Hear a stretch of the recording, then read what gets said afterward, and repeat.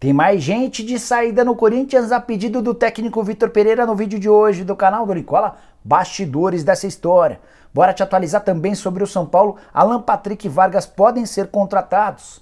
No Palmeiras, mais uma investida frustrada de outros clubes brasileiros na tentativa de levar um dos melhores funcionários do Verdão. Te atualizo também sobre o Flamengo, mais perto da contratação de um zagueiro. Tem novidade importante envolvendo o Ronaldo Fenômeno, atualizações sobre Grupo City Bahia. Você não perde por esperar.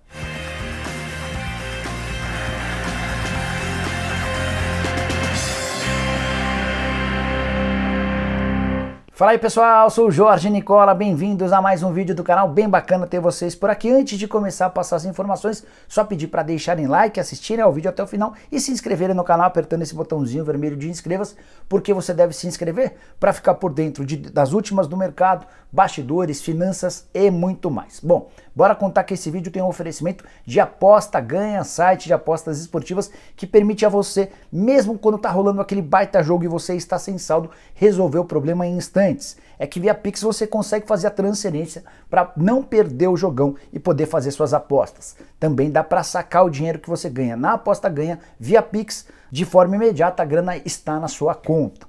Nessa segunda-feira, ó, segunda-feira tem dois jogos bem legais. O primeiro deles no Campeonato Espanhol, o Real Madrid visita o Mallorca cotação interessante. Tem também na Premier League Manchester City e Crystal Palace, os dois jogos com cotações bem legais.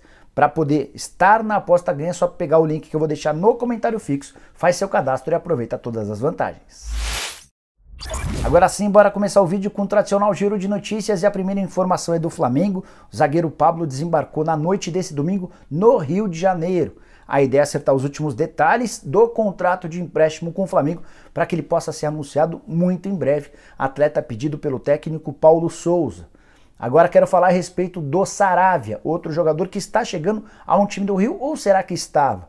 Lateral direito que tinha contrato com o Porto, esse contrato foi rescindido. Durante o fim de semana ele passou por exames médicos no Botafogo e a afirmação oficial é de que ele foi aprovado nos exames médicos, mas pediu mais dinheiro e que diante desse desacerto o negócio pode acabar melando. Só que em geral, quando acontece de um atleta passar pelos exames médicos e depois surgir essa história do desacerto financeiro, quase sempre isso está associado a problemas no exame médico. Para não criar uma situação chata para o atleta, o clube anuncia que não houve um acerto financeiro. Estou atento a essa história, prometo voltar com mais novidades para vocês. Quero falar também que André Sanches, ex-presidente do Corinthians, homem que segue bastante forte nos bastidores alvinegros, esteve no Mineirão para assistir a vitória por 5 a 1 do Cruzeiro contra o Pouso Alegre. Ele é muito amigo do Ronaldo Fenômeno e a convite do dono do Cruzeiro esteve lá para assistir a partida. Tem bastante gente especulando que o Andrés pode ter algum cargo no Cruzeiro, informação que eu tenho é um pouco diferente.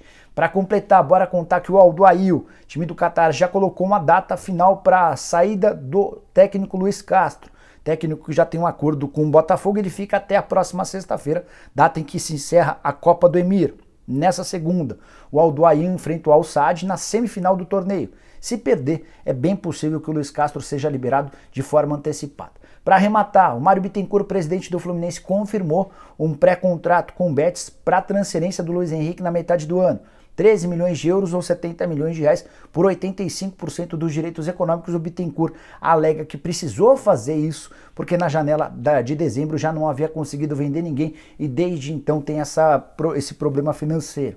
E aí, para arrematar de vez, contar que o Grêmio, por meio do seu presidente Romildo Bolzan, confirmou o interesse no atacante Guilherme, que era do próprio Grêmio e hoje pertence a um time chamado Al Dafra por outro lado, o Santos do técnico Fabian Bustos está atrás do lateral Byron Castilho, que joga como lateral direito e também ponta, é um velho conhecido do Fabian Bustos dos tempos de Barcelona de Guayaquil. Aproveitar que falei agora há pouco sobre o Cruzeiro e contar que o Ronaldo Fenômeno não gostou muito da vitória por 5 a 1 contra o Pouso Alegre. Goleada, o Cruzeiro absolutamente envolvente, mas na saída do jogo o Ronaldo foi perguntado a respeito da participação do seu time e disse o seguinte, abre aspas, ganhar é sempre bom, mas temos muito a melhorar, estamos no caminho certo e hoje, apesar do resultado elástico, não foi um dos melhores jogos, fecha aspas. Foi a terceira vez que o Ronaldo esteve no estádio assistindo a uma partida do Cruzeiro desde que ele adquiriu o clube. Vale lembrar que o Ronaldo mora na Espanha, em Valladolid, e tem passado alguns dias por aqui. Primeiro jogo que ele assistiu foi a vitória contra o RT por 3 a 0. Depois, no fim de semana passado, esteve na derrota por 2 a 1 para o Atlético Mineiro. Ronaldo que nessa terça-feira participa de uma reunião que envolve os clubes e a ideia da formação de uma liga. Depois ele embarca para a Espanha. Bora falar agora sobre o Palmeiras e mais uma tentativa frustrada de um clube brasileiro de tirar João Paulo Sampaio do Verdão. Não sabe quem é? João Paulo Sampaio é o gerente das categorias de base do Palmeiras, o cara que revolucionou os times amadores do Verdão. Até a chegada dele, Palmeiras não revelava atletas. Desde então, Palmeiras é super campeão nas categorias de base, acaba de vencer inclusive a Copa São Paulo de Juniores e não para de revelar jogadores. João Paulo Sampaio, em janeiro de 2021, havia recebido uma proposta boa do Bahia. Ele ganharia mais e seria o diretor executivo de futebol do time principal. Na oportunidade, o Maurício Gagliotti, então presidente Alviverde, chamou a Leila Pereira, convidou o João Paulo para um almoço e ficou combinado que ele, mais cedo ou mais tarde, acabaria assumindo o cargo de executivo de futebol do profissional. A combinação é de que essa transformação se daria na virada do ano, entre dezembro e janeiro de 2022, só que como o Palmeiras foi campeão, o Anderson Barros acabou ficando. Pois bem, nos últimos dias o Internacional que demitiu o Paulo Brax fez uma proposta bacana para o João Paulo Sampaio. A ideia era que ele assumisse o time principal do Internacional, mas mais uma vez o João Paulo decidiu permanecer no Verdão se sente absolutamente à vontade, autonomia total para comandar a base, o melhor salário entre todos os executivos de categoria de base e ainda existe a perspectiva de mais cedo ou mais tarde ele ocupar esse mesmo cargo, só que no profissional alviverde. Bora contar para você por que, que o Grupo City escolheu o Bahia. Venho falando desde a metade da semana passada que o Bahia tem praticamente tudo acertado para se tornar mais um clube do Grupo City. No final de semana, inclusive, o Lauro Jardim foi no mesmo caminho e disse que pequenos detalhes burocráticos separam esse acordo. Fui checar com uma das minhas fontes que asseguraram que está tudo fechado entre as partes. Essa pessoa disse que só falta assinar o contrato e que o Grupo City escolheu o Bahia pelo perfil que existe no clube.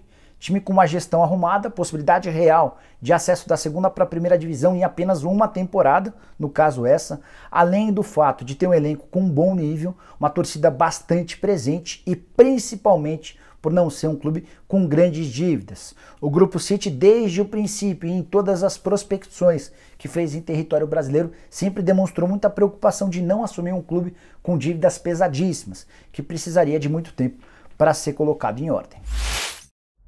Bora falar agora sobre o São Paulo e desfazer alguns boatos que têm surgido muito fortes nas redes sociais.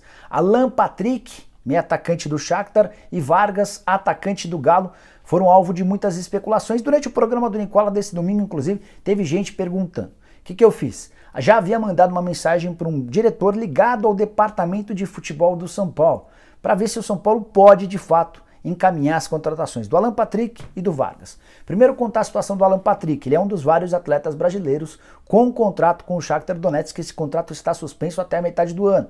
Não está descartada inclusive a possibilidade de o Shakhtar aumentar esse período de empréstimo até dezembro, mas de acordo com esse dirigente com quem conversei, Alan Patrick não será reforço do São Paulo. Investimento muito alto, salário incompatível com a realidade financeira do São Paulo e, de acordo com a avaliação também da comissão técnica, não é um jogador de prioridade.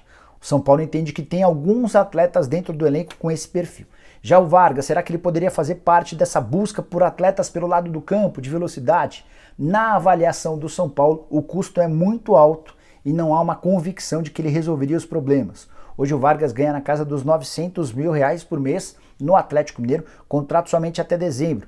Contei para vocês no fim da semana que o André Cury, o empresário do Vargas, me assegurou que já existem dois clubes brasileiros interessados. Um deles não é o São Paulo, que chegou a consultar, chegou a cogitar a possibilidade, mas diante das cifras, os 900 mil mensais, e da incerteza, a dificuldade que o, com que o Vargas tem demonstrado para ser titular no Atlético, não é alguém que será contratado no tricolor.